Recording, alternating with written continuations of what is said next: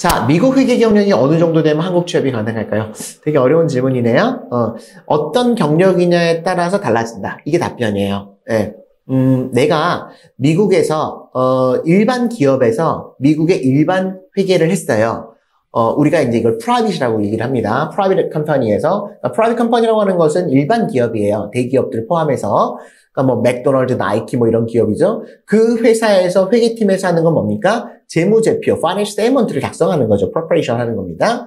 그, 그거에서 CPA가 다 하진 않아요. CPA는 뭐랑 구분을 하셔야 되냐면 CPA, 우리가 지금 하려고 하는 CPA는 부키핑하고는 완전히 다릅니다. 어카운턴트랑은 달라요. 그러니까 미국에서 잡 서치를 해보시면 bookkeeper or accountant라는 잡 타이틀이 많이 나오거든요.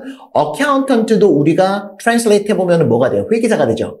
그래서 accountant를 CPA랑 착각하시는 분들이 굉장히 많습니다.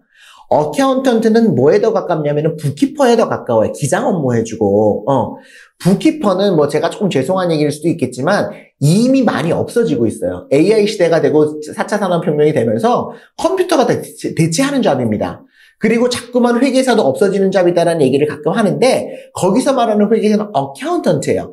단순하게 회사에서 돈이 얼마가 들어오고 돈이 얼마가 나가고 뭐 그런 기장 업무를 하는 거죠. 이거는 이제 점점 더 다 원격으로 되어지고 이제 자동화 시스템이 되어져 있어요. 네. 그래서 옛날에 10명이서 하던 거 지금 한 두 명이서 하고 다 클라우드에 올려가지고 하고 다 원격으로 하고 이러기 때문에 근데 CPA는 뭐냐면 그것보다 훨씬 더 레벨이 높은 단계입니다. 의사결정을 하고 회사의 weakness를 찾아내고 앞으로 나갈 방향에 decision making을 할 수 있는 어떤 그런 능력을 갖추는 사람들이고 그래서 private에 가가지고 다 이런 bookkeeping을 하고 있지는 않습니다. 그렇기 때문에 private에서 만약에 내가 경력을 쌓았다. 그러면 한국으로 와서 뭐가 다르냐면 한국 회계와 미국 회계가 많이 달라요. 네. 그리고 또 예를 들면 한국은 IFRS 같은 국제회계 기준을 굉장히 어, 그 채택하고 있는데 미국은 IFRS를 안 따른단 말이에요. 미국 회계 기준에 따라서 reporting을 하는 거죠. 그래서 한국으로 오시려고 하는 분들 같은 경우에는 어 그냥 일반 회계 일반 회사 그러니까 private에서 일반 회계를 하는 경우에는 한국으로 와서 그 경력을 많이 인정받지는 못합니다. 근데 반면에 내가 public에서 일을 했다. 근데 public도 그러니까 accounting firm이죠. Big 4를 포함해서 PwC, KPMG 이런데 그런 데서 일을 하는데 내가 어떤 분야에 따라 달라져요. 예를 들면 Big 4 같은 경우에는 area가 크게 세 개로 나누어집니다. 뭐 아시겠지만 뭐 모르시는 분도 계시겠죠. Audit, 회계 감사, CPA 고유 업무예요. Tax, 어, 세금을 계산해 주는 거죠. 그다음에 컨설팅, advisory service라고 해서 이 컨설팅이 굉장히 종류가 많죠. 뭐 actuarial도 하고 IT 컨설팅도 하고 valuation, M&A 같은 것도 하고 뭐 가치 평가도 뭐 굉장히 많은 것들을 이 컨설팅 업무에서 하는 거예요. 음.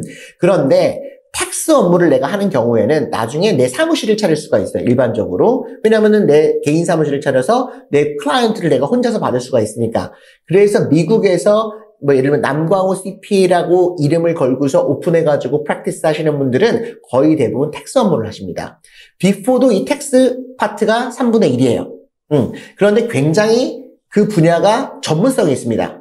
무슨 tax 무슨 tax를 다 하는 게 아니라 property tax만 하는 거예요. 예를 들면 partnership tax의 어떤 basis 계산만 하는 거예요. 그러니까는 Big 4에서 내가 tax를 했다 그럴 때 한국으로 와서 사실은 할 일이 이렇게 많지는 않아요. 네. 미국 내에서 뭐 내가 세금 보고를 하거나 미국 내에서 내 사무실을 차릴 때는 도움이 많이 될 수가 있겠지만 무슨 말인지 아시겠죠?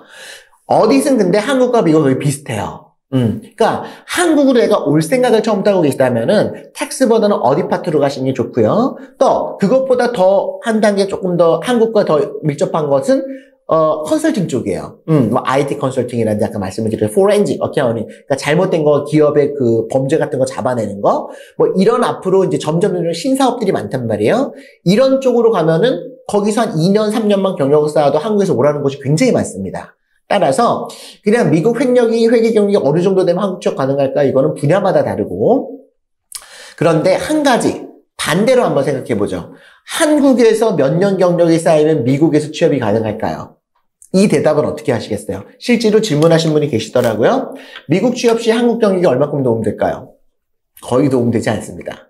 거의 도움이 되지 않아요. 어떤 경우에 도움이 되냐면 한국에서 회계팀에 있었어요. 예를 들면 삼성전자 회계팀에서 10년을 일을 했는데 내가 미국에 가서 삼성전자와 유사한 어? 한국 기업에서 내가 회계팀으로 일하겠다. 그러면은 인정을 받을 수가 있어요. 근데 완전히 미국 회사에서 일을 하는데 한국 회사의 경력 인정받지 못합니다. 또 당연히 취업하기도 어렵고요. 한국의 3일의 개발을 해서 내가 어디를 10년 했어요. 그래서 미국의 PwC가 거의 제휴가 돼 있으니까 미국의 PwC 가서 내가 10년차 회계사로 입사할 수가 있느냐? 안 해줍니다. 한 1, 2년 경력 인정해줄까 말까예요. 반대로 미국에서 했던 경력을 한국에서 인정해주느냐? 거의 다 받습니다. 이 말씀을 드리는 이유는 내가 만약에 스타팅으로 내가 어떤 경력을 쌓고자 할 때는 미국 회계사로 반대죠. 한국 회계사는 반대일 거 아니에요. 그죠? 미국 회계사로 내가 경력을 쌓고자 할 때는 당연히 미국에서 시작하시는 게 좋고요. 미국에서 해서 그거 내가 한국으로 오려고 하시는 분들 아니면 미국에 정착하시는 분들에 따라서 처음에 starting을 잘 하셔야 돼요. 또 내 어떤 life quality가 나는 그냥 딱 5시, 6시 퇴근해가지고 좀 편하게 살고 싶다. 그럼 private으로 가시는 게 좋고요. 그렇지 않고 나는 일주일에 80시간 일해도 괜찮다. 그러나 내가 딱 5년 하고서 내가 매니저 달고 내가 연봉 뛰어가지고 다른 데로 옮길 거야. 그런 분들은 firm으로 가셔야 됩니다. public으로 가셔야 돼요. 그러니까 이런 어떤 그런 그 커리어에 대한 컨설팅이 굉장히 중요합니다. 예, 그거에 따라서 내 인생이 좌우가 될 수가 있기 때문에 그런 부분들도 예, 참고하셔가지고 어, 경력을 시작을 하셨으면 좋겠고요.